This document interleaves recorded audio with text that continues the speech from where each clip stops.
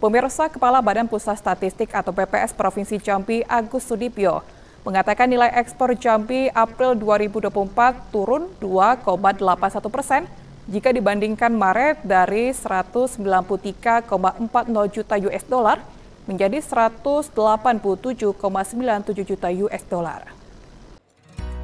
Agus Sudibyo mengatakan penyebab turunnya nilai ekspor pada bulan April lantaran turunnya ekspor beberapa komoditi unggulan di daerah tersebut.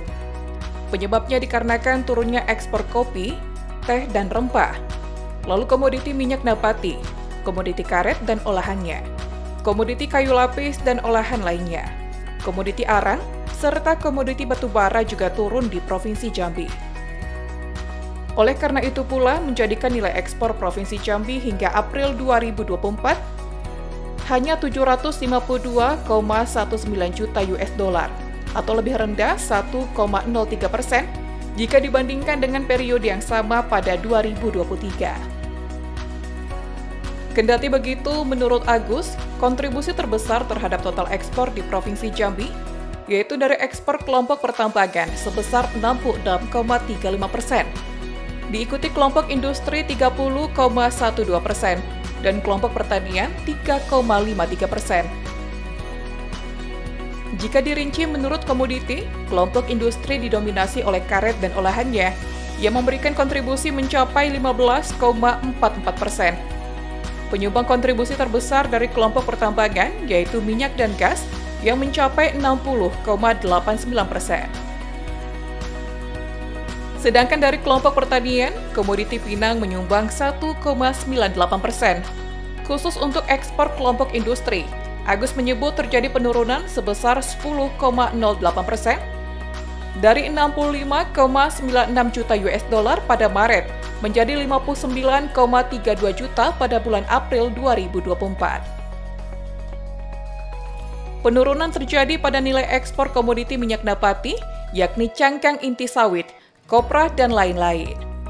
Komoditi karet dan olahannya, yakni TSNR 10, TSNR 20, dan TSNR CV.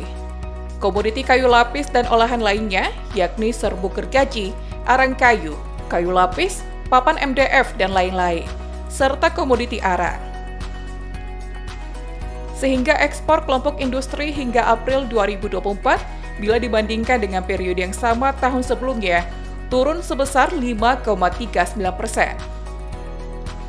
Secara umum, nilai ekspor asal Provinsi Jambi pada April 2024 ke beberapa negara juga mengalami penurunan, seperti ke Singapura, Malaysia, Perancis, China, Jepang, Amerika Serikat, Australia, Korea Selatan, dan Taiwan. Sedangkan pergerakan naiknya nilai ekspor dapat diamati ke negara Thailand, Jerman, serta India. Jika dibandingkan periode yang sama tahun sebelumnya, ekspor April 2024 menunjukkan secara umum transaksi ekspor mengalami penurunan. Namun demikian, ada beberapa transaksi ekspor ke berbagai negara yang mengalami kenaikan. Kenaikan terjadi pada ekspor ke Singapura, Malaysia, Thailand, Jerman, Jepang, Amerika Serikat, dan Australia.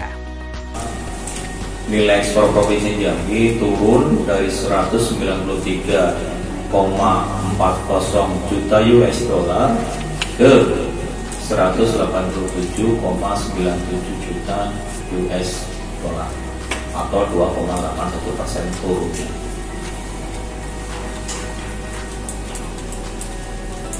Ekspor Provinsi Jambi sepanjang 2024 ini kumulatif ya, jadi saya katakan sepanjang dari Januari sampai dengan April itu didominasi oleh pertambangan. Hampir setengahnya itu ekspor provinsi Jambi berasal dari pertambangan, berupa minyak dan gas. Nanti kita lihat di slide selanjutnya, tapi kita bicara slide ini dulu bahwa lebih dari setengah Ekspor terbesar yakni migas pada bulan ini diekspor ke Singapura dan Thailand. Sementara komoditi karet dan olahannya terbanyak diekspor ke Jepang, Amerika Serikat, dan India. Lalu komoditi minyak nabati terbanyak diekspor ke Jepang, Malaysia, dan India. Lina Liska, Cik TV, melaporkan.